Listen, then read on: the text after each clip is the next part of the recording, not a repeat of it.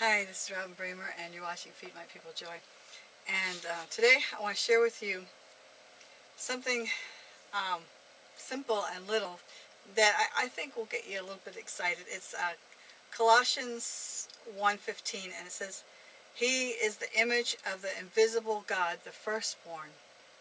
So everything about Jesus is is in the image of the first, uh, everything about Jesus is in the image of God. And he's the firstborn. That means there's a secondborn, a thirdborn, and a fourthborn. And if the firstborn is, is, is in the image of God, then the second, third, and fourthborn is in the image of God. And I just want you to know that you were created in the image of God. That everything Jesus can do, you can do because he's in you and he'll do it through you. And you're created in the same image. So my name is Robin Bremer and you're watching Feed My People Joy. I'd like you to check out my website, robinbremer.net. And uh, I got lots of teaching and fun stuff there. So have a Merry Christmas. Talk to you later.